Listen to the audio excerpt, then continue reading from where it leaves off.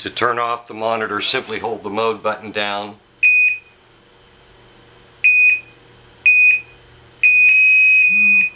It'll beep approximately four times and shut off.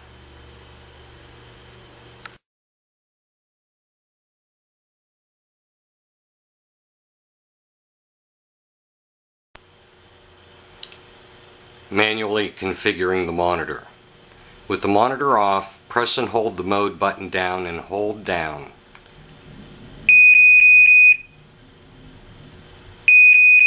After PC Connect, it will say configuration.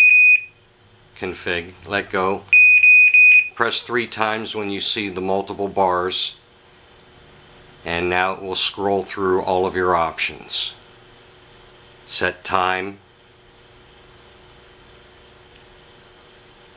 Set date. Set alarms. Set cal gas if you want to adjust from 100 ppm CO to 50 ppm. Set the calibration due date. Set bump due.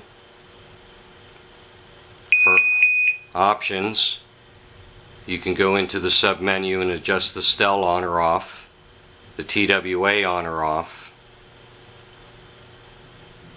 security beep, default is off, latching alarms, default is off, cal due, you can add the decimal point to the H2S reading, and you're back to STEL. Triple clicking will bring you back to the main menu.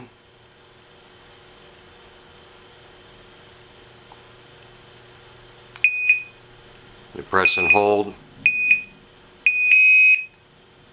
and then ask if you want to accept countdown and just press accept before the unit counts down to zero. The unit will shut down and that's configuring the monitor manually.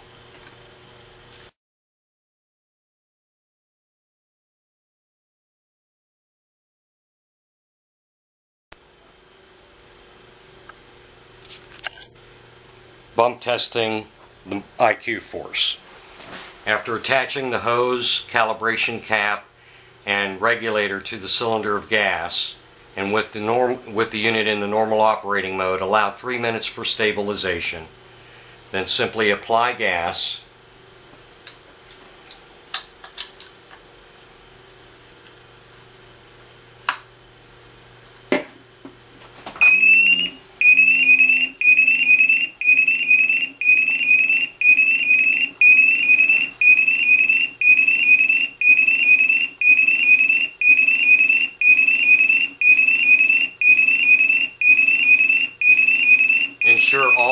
Sensors go into alarm. To check for accuracy, allow 45 seconds to one minute for stabilization of sensors full response. The reading should be 90% to 120% of gas applied.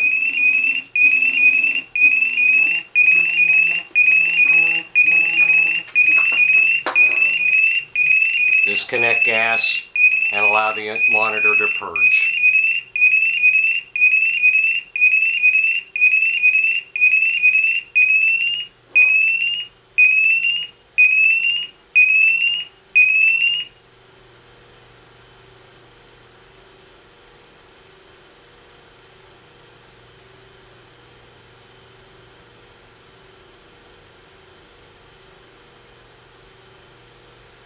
The unit is now ready for use.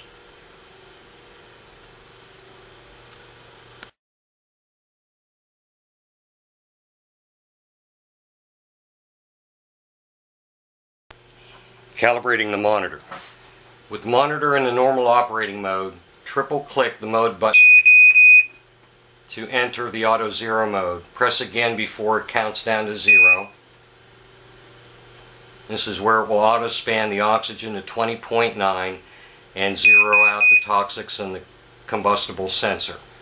Press the button again when it counts down before it hits zero and then apply gas by attaching the calibration adapter with the thumb screw to the bottom of the unit.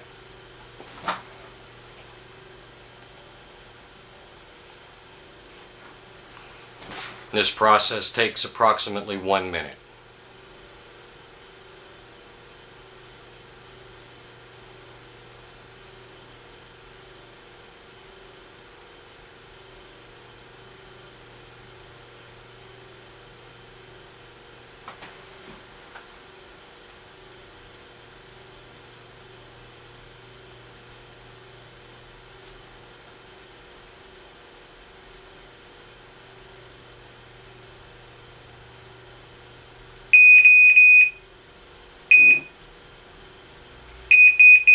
Maximum adjustable values for all sensors will be shown on the screen and then the unit will shut off, completing the calibration process.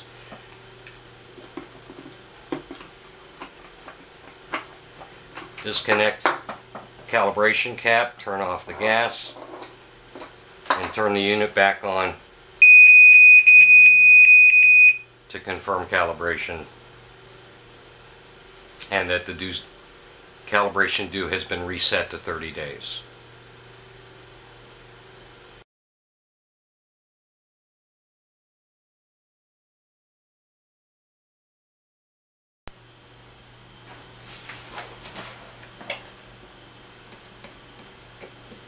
Remove the four screws from the bottom of the monitor.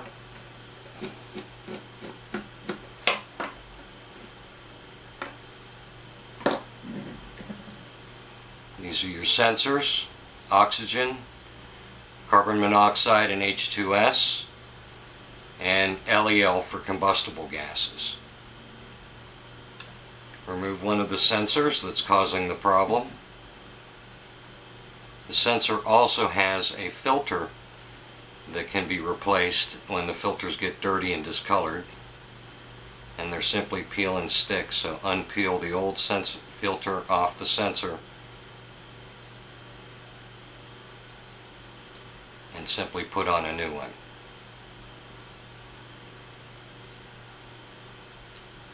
Once the new filter is in place, reinstall the sensor.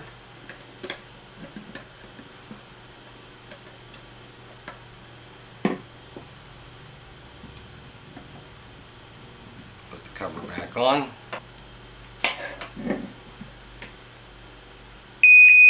Now you can turn on the monitor. Allow the monitor about 15 minutes for new sensor to stabilize and calibrate.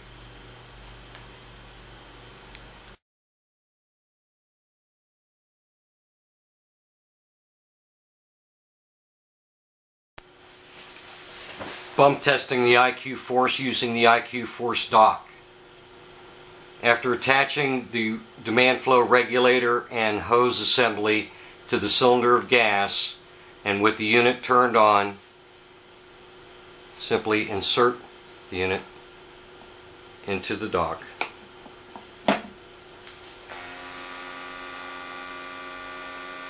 Dock will show that it's connected.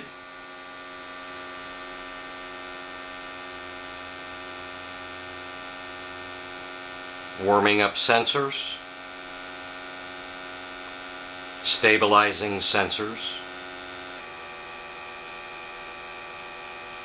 Now it's performing at zero.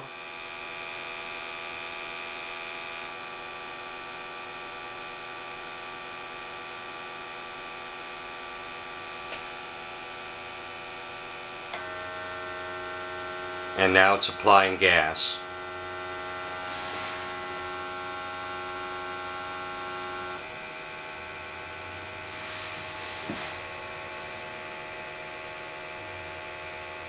Now it's performing an analysis,